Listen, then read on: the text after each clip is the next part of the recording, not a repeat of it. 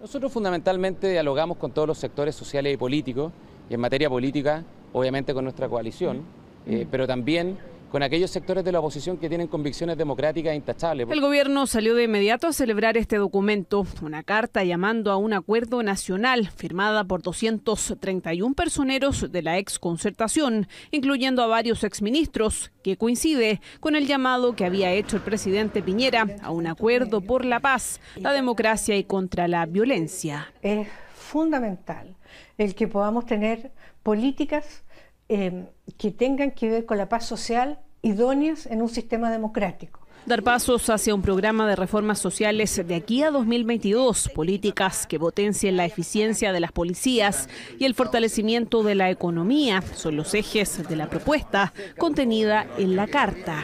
Yo me alegro que se esté hoy día hablando de un acuerdo de paz social. Nosotros lo vamos a apoyar con toda la fuerza de nuestro corazón porque creemos que la democracia se sustenta sobre la paz. Rechazo cualquier crítica a la posibilidad de conversar con nuestros adversarios políticos, con la gente que está en la otra vereda. La carta no fue firmada por los presidentes de los partidos opositores, donde hay distintas posturas. Mientras algunos han planteado la idea de un gran pacto social, otros toman distancia de un acuerdo que incluya la agenda de orden público. El gobierno no puede escudarse en eh, la oposición para no hacer su pega. El presidente Sebastián Piñera sigue enfocado en el logro de un acuerdo nacional. Durante este miércoles abordó el tema con el Poder Judicial y la Asociación Chilena de Municipalidades.